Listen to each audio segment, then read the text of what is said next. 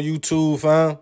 This your boy Tony two times, and we back with another episode of Hood Tales, man. Before I start, be sure to tap that like button. Definitely watch this video to the end to hear the full story and all the details in the case.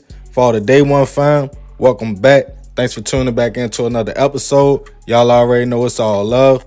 If you're new to the channel and you feeling the content, feel free to subscribe. Definitely hit that notification bell so you can be notified every time we drop a new video. Let's get right into the story.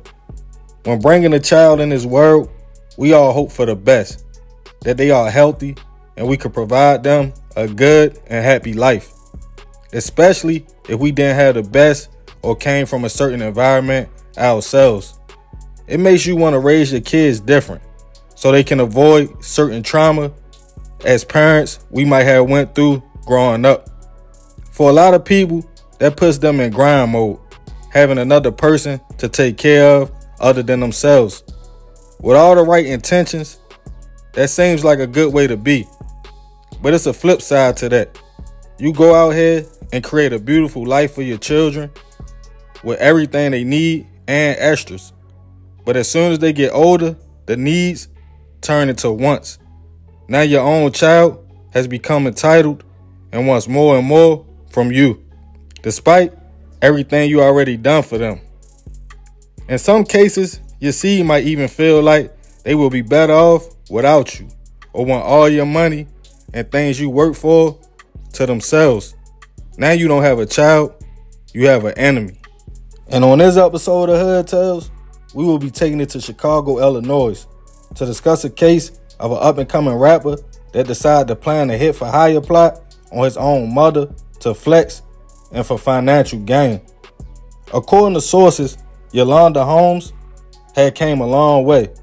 In 2012, she had worked hard to build a beauty salon in the north side of Chicago on 4141 North Broadway called Nappy Heads. That was a success. Yolanda took pride in helping her community from back to school drives for the kids, even helping up and coming businesses because she understood not having much and grinding from the bottom. Her main motivation for going so hard was her one and only child, a son named Cormaine Wilson. Yolanda wanted her son to have a better life than her and his father, who had a life sentence for two bodies. The single mother made sure to keep Cormaine away from the Chicago streets and gangs, kept him with her at the shop and the living arrangements in the nicer part of the city so he wouldn't follow his father's footsteps. Business was good for the 45 year old mother, so she spoiled her son. From money, designer clothes, bought him a nice car, pretty much anything he wanted. As Cormaine got older, he would focus on becoming a rapper and actor and started calling himself Young QC.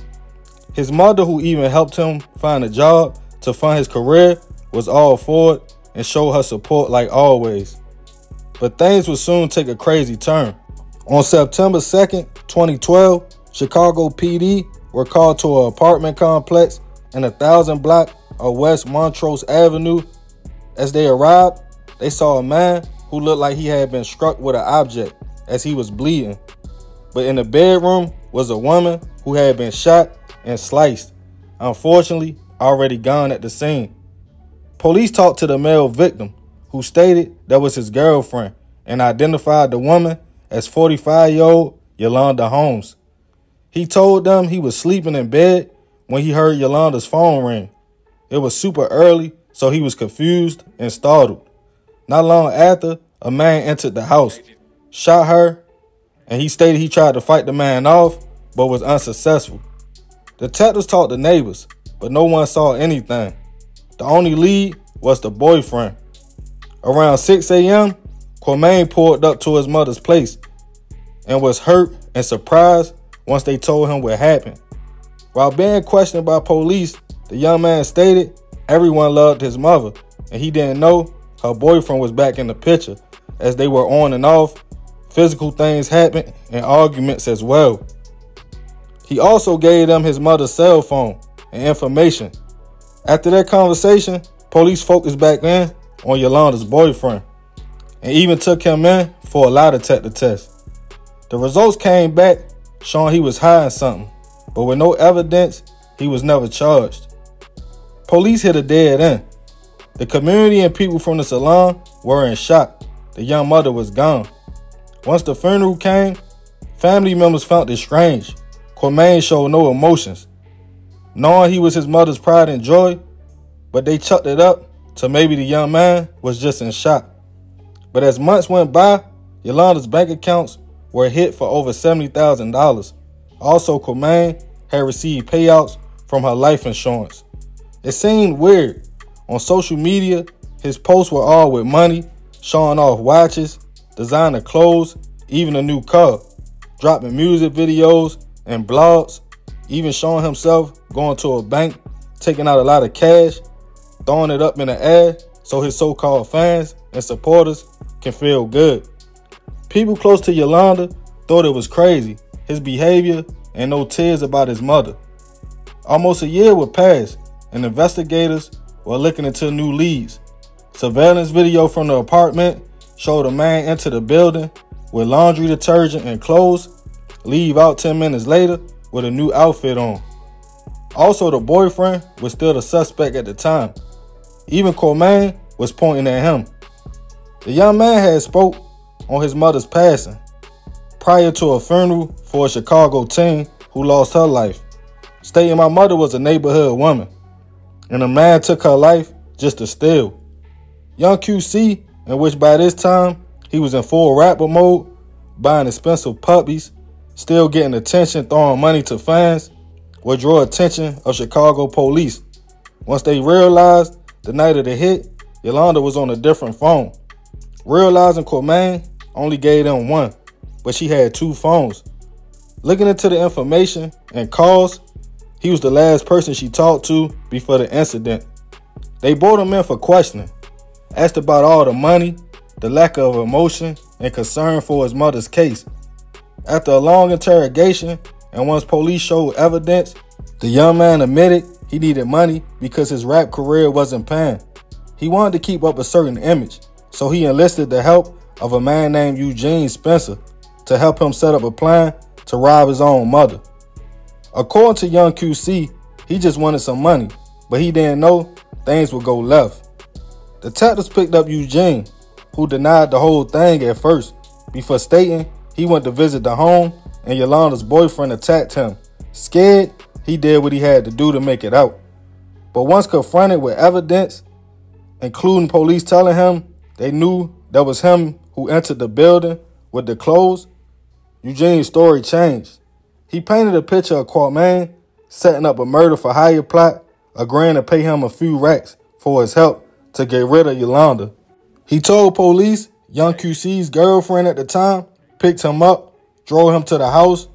Then the son called his mother, stating he was coming over, so she wouldn't be alarmed if someone entered the code to be buzzed into the building that early. Quamaine allegedly stayed on the phone while Eugene went upstairs after shooting her he then told Eugene, make sure that B is gone. That's where the slice wounds came from to make sure the job was done. He then only paid the man $70. Eventually, both men and the young lady were charged with home invasion and first degree hit. On December 24th, 2013, young QC was picked up and booked into Cook County Jail. The young lady, who stated she was used and had no idea about the plot, was sentenced to 15 years and has since been released. But Quamaine and Eugene both sat almost seven years before the case made it all the way to trial. Quamaine had to face family and friends while being accused of taking the life of his own mother. Relatives stated he was a spoiled young man who went to private schools and had the best, but was never content, always wanting more. The judge would look at Quamaine before giving him his time stating what he did was matricide, meaning taking the life of one's own mother. The young man was sentenced to 99 years in prison. Eugene will have the same fate, sentenced to 100 years for his role. Rest in peace to Yolanda. I send my prayers and deepest condolences to her family. My way of thinking wouldn't even let me imagine doing something like that to somebody who gave me life. I don't know what was up with her son other than he seemed ungrateful money hungry, and for real, trying to be something he was not. More of this story, sometimes love can lead to our own demise. This lady probably never thought in a million years her son would cross her for some bread. It's ironic. You give your child everything, a better life, so he wouldn't end up taking the wrong path, but he did anyway. Unfortunately, leading to Yolanda being gone as well. So we gotta remember to succeed, not to fail, so we won't be just another hood tale. Man, it's a crazy story, messed up all around the board. You know, I heard about this story years ago before I even did YouTube.